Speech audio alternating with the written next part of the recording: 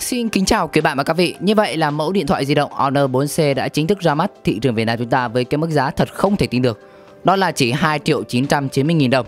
Và từ ngày hôm qua đến hôm nay, mình nhận được rất nhiều câu hỏi từ các bạn Đó là vi xử lý này là vi xử lý như nào Có tương thích game ứng dụng tốt hay không Có nên mua mẫu điện thoại mới lạ này Và liệu nó có xứng đáng là mẫu điện thoại đáng lựa chọn nhất trong phân khúc giá 3 triệu đồng Hôm nay mình sẽ chia sẻ các bạn về 5 lý do tại sao chúng ta nên mua mẫu điện thoại Honor 4C Tuy nhiên, trước đó các bạn cần phải biết rằng Honor 4C sẽ được phân phối độc quyền trên chuỗi cửa hàng thế giới di động và nó sẽ bán online, cho phép chúng ta đặt cọc thời gian từ ngày 27 tháng 7 đến ngày mùng 2 tháng 8 và bán là số lượng có hạn.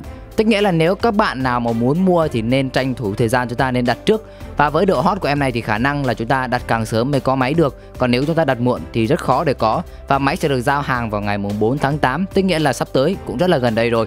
Điều đầu tiên đó là mẫu điện thoại Honor 4C có cái cấu hình rất là ấn tượng trong 3 triệu đồng thì đây là con máy đầu tiên và cho tới điểm hiện tại có được cái vi xử lý 8 x 64 bit dựa trên nền tảng Cortex A53. Vậy thì các bạn có thể yên tâm về khả năng tương thích game ứng dụng vì hiện nay phần lớn các vi xử lý 64 bit đều sử dụng cái nhân Cortex A53 này nên trên Play Store tất cả các game mình tìm kiếm thì đều có thể cài đặt trên cái chiếc Honor 4C. Ngoài ra máy lại còn đi kèm sẵn với 2GB RAM, một con số rất đáng mơ ước. Với phân khúc 3 triệu, thậm chí là ở trên mức giá này vẫn có nhà sản xuất sử dụng 1GB RAM, nhưng Honor 4C rất là phóng khoáng, có sẵn 2GB RAM cho chúng ta thoải mái chơi game ứng dụng đa nhiệm tuyệt vời. Lý do thứ hai, đó là chúng ta nên biết rằng, với mức giá chỉ 3 triệu thì phần lớn các nhà xuất đều có chung một điểm yếu, đó là bộ nhớ trong chỉ có 8GB. 8GB mà trống khoảng 4GB thì chẳng cài được mấy game ứng dụng. Tuy nhiên, Honor 4C lại trang bị một tính năng rất là cần kíp. Nó cho phép người dùng có thể cài đặt game và ứng dụng lên thẻ nhớ ngoài. Như vậy, nếu mà chỉ cần có 8GB bộ nhớ trong, chúng ta sẽ mua thêm một thẻ nhớ 16GB ở bên ngoài. Lắp vào Honor 4C chúng ta có thể lựa chọn và cài đặt game và ứng dụng lên thẻ nhớ ngoài. Thoải mái chúng ta có thể trải nghiệm game và ứng dụng tốt nhất trên Play Store. Đây là một tin vui cho các bạn và đây là một tính năng vô cùng hữu ích. Tuy nhiên không phải nhà sản xuất nào cũng trang bị và Honor 4C may mắn thay đã được cài sẵn để khắc phục vấn đề điểm yếu bộ nhớ trong không thực sự lớn. Lý do thứ ba đó là Honor 4C có camera sau sử dụng độ phân giải là 13 megapixel, cảm biến của Sony và khẩu độ f lên tới 2.0. Thực ra con số chấm không quyết định chất lượng ảnh, tuy nhiên quan trọng ở đây đối với Honor 4C là nó sử dụng cảm biến đến từ Sony và có khẩu độ f2.0. Camera của máy cũng được trang bị rất nhiều tính năng hay ho như là chúng ta có khả năng chụp ảnh beauty để làm mịn da. Đặc biệt trong phần setting cho thấy là nó có thể chụp được HDR này, chế độ chụp ảnh đẹp nhất, lấy nét tổng thể này, đặt watermark cho bức hình này, rồi audio note vân vân.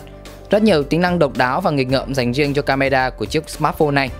Ở lý do thứ tư đó chính là chiếc Honor 4C này đi kèm với rất nhiều tính năng hay và hấp dẫn.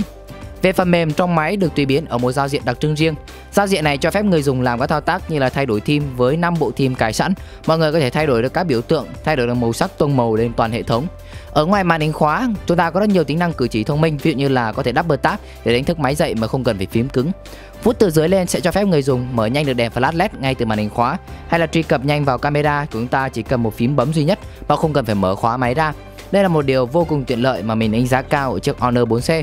Hoặc là ở trên màn hình chính tìm kiếm nhanh game ứng dụng chúng ta chỉ cần kéo xuống nhẹ một cái, gõ tên ví dụ như app Fan 8 chẳng hạn, mình không cần phải kéo hết trang màn hình để tìm kiếm như trước nữa. Trong phần cài đặt của máy cũng trang bị một vài tính năng hữu ích, ví dụ như là chúng ta thể úp máy xuống để tắt chuông mỗi khi cuộc gọi đến, chế độ siêu tiết kiệm pin kéo dài thời gian sử dụng hơn và chúng ta có thể truyền tải hình ảnh từ trên máy điện thoại sang các thiết bị TV ở trong gia đình để có thể xem không dây. Lý do thứ năm cuối cùng đó là Honor 4C được trang bị công nghệ âm thanh vòm DTS 5.1. Bình này các mẫu điện thoại phân khúc giá rẻ này thì tập trung vào cấu hình chứ ít khi quan tâm đến những cái khác.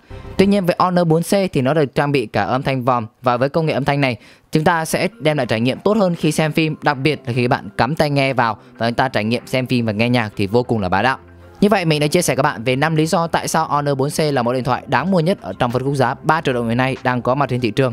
Và đương nhiên các bạn nên biết rằng để có mức giá tốt như thế này thì Honor 4C cũng đã bán online vì thế ai mà muốn có được thì nên nhanh chân đặt hàng càng sớm càng tốt. Và sắp tới mình sẽ có một bài đánh giá chi tiết. Các bạn chỉ cần quan tâm vấn đề gì, mời comment, chia sẻ bên dưới. Mình sẽ giải đáp cho các bạn trong bài đánh giá chi tiết tiếp theo. Hẹn gặp lại các bạn trong các video lần sau.